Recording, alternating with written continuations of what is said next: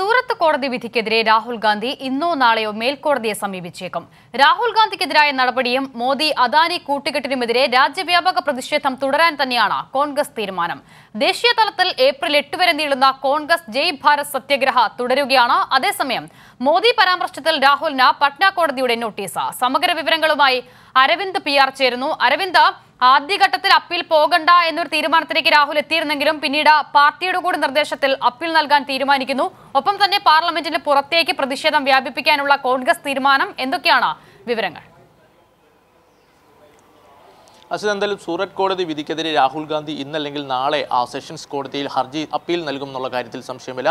എന്തായാലും അപ്പീൽ എല്ലാം തയ്യാറാക്കിയെന്നാണ് കോൺഗ്രസ് വൃത്തങ്ങൾ അറിയിക്കുന്നത്. ഇതിനുവേണ്ടി പ്രത്യേക അഭിഭാഷകരുടെ സംഘം നേരത്തെ തന്നെ കോൺഗ്രസ് നിയോഗിച്ചിരുന്നു. മനുഷ്യ മനു അഭിഷേക് സിംഗ്വിയുടെ നേതൃത്വത്തിലാണ് ഒരു സംഘത്തെ നിയോഗിച്ചിരുന്നത്. എന്തായാലും ആ സംഘം ഉടൻ തന്നെ സെഷൻസ് കോടതിയിൽ അപ്പീൽ സമർപ്പിക്കുമെന്നുള്ള കാര്യത്തിൽ വ്യക്തത വന്നിട്ടുണ്ട്. എന്തായാലും അതേസമയമാണ് ബീഹാറിലെ പട്ന കോടതി ഇപ്പോൾ രാഹുൽ ഗാന്ധിക്ക് ഒരു നോട്ടീസ് നൽകിയിരിക്കുന്നത്. ഏപ്രിൽ പന്ത്രണ്ടിന് കോടതിയിൽ ഹാജരാകാൻ ആവശ്യപ്പെട്ടുകൊണ്ടാണ് നോട്ടീസ് നൽകിയിരിക്കുന്നത്. കോലാറിലെ പ്രസംഗവുമായി ബന്ധപ്പെട്ട് ഇത്തരത്തിൽ സൂററ്റ് കേസുമായി ബന്ധപ്പെട്ട സമാനമായ കേസിലാണ് ഇപ്പോൾ ബീഹാർ പട്ന കോടതിയിൽ നിന്നൊരു നോട്ടീസ് രാഹുൽ ഗാന്ധിക്ക് വന്നത്. എന്തായാലും ബി ജെ പി നേതാവായ സുശീൽ മോദിയാണ് ഈ ഇതിൽ ഹർജിക്കാരനായുള്ളത്. മോദി വിഭാഗത്തെ അപമാനിച്ചു എന്നുള്ള മാനനഷ്ട കേസിന്റെ സമാനമായ കേസ് തന്നെയാണ് ബീഹാർ പട്നയിലുമുള്ളത്. എന്തായാലും അതേസമയം രാഹുൽ ഗാന്ധി ഈ കേസിൽ നേരിട്ട് ഹാജരാക്കി അയക്കില്ല എന്നുള്ള വാർത്തകളാണ് പുറത്തു വരുന്നത്. തന്റെ അഭിഭാഷകൻ വഴിയായിരിക്കും രാഹുൽ ഗാന്ധി കോടതിയിൽ ഇതിന് മറുപടി നൽകുക എന്നുള്ള വൃത്തങ്ങൾ സൂചനകളാണ് കോൺഗ്രസ് വൃത്തങ്ങൾ നൽകുന്നത്.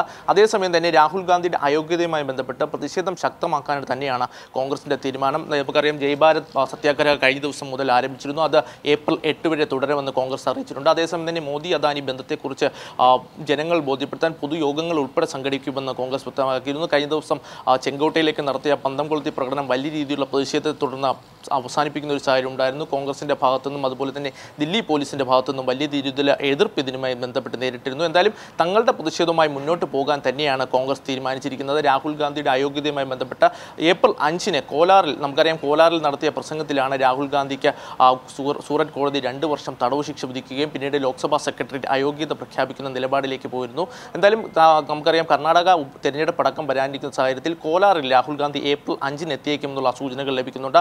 കോലാറിൽ താൻ നടത്തിയ പ്രസംഗം നടത്തിയ സ്ഥലത്ത് തന്നെ രാഹുൽ ഗാന്ധി തെരഞ്ഞെടുപ്പ് പ്രചാരണം ആരംഭിക്കുമെന്നുള്ള സൂചനകളും വ്യക്തമാക്കുന്നു എന്തായാലും പ്രതിഷേധ പരിപാടികളുമായി മുന്നോട്ട് പോകാൻ തന്നെയാണ് ഇപ്പോൾ കോൺഗ്രസ് പക്ഷേ തീരുമാനിച്ചിരിക്കുന്നത്. അരവിന്ദ് ഇന്നലെ ആരംഭിച്ച പ്രതിഷേധത്തിന് പല സംസ്ഥാനങ്ങളിലും തണുത്ത പ്രതികരണമാണ് ഇന്നലെ നമ്മൾ കണ്ടത്. ആ സാഹചര്യത്തിൽ കൂടുതൽ ദിവസങ്ങളിലേക്ക് പ്രതിഷേധം നീട്ടാനുള്ള തീരുമാനത്തിലേക്കൊക്കെ എത്തുമ്പോൾ ഏത് നിലയിൽ ഇതിനെ സംഘടിപ്പിക്കാനാണ് പാർട്ടിയുടെ തീരുമാനം? അസിത് എന്തായാലും വലിയ രീതിയിലുള്ള പ്രതിഷേധം മോദി സർക്കാരിനെതിരെ ഉയർത്താൻ തന്നെയാണ് കോൺഗ്രസിന്റെ തീരുമാനം. നമുക്കറിയാം ലോക്സഭാ സെക്രട്ടറി നമുക്കറിയാം രാഹുൽ ഗാന്ധി സൂററ്റ് വിധി വന്നതിന് ഇരുപത്തിനാല് മണിക്കൂറിനുള്ളിലാണ് രാഹുൽ ഗാന്ധി അയോഗ്യനാക്കിക്കൊണ്ട് ലോക്സഭ ലോക്സഭാ സെക്രട്ടറിയുടെ വിധി വരുന്ന ഉത്തരവ് വരുന്നത്.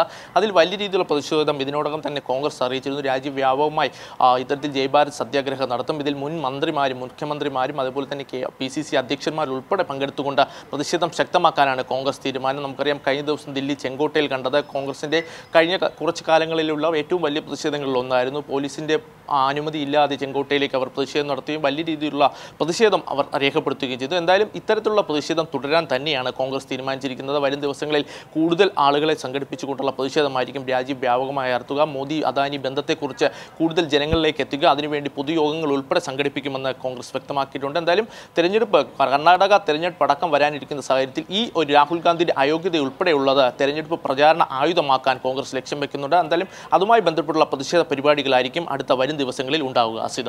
ശരി വിവരങ്ങൾ നൽകുകയായിരുന്നു അരവിന്ദ് പി ആർ.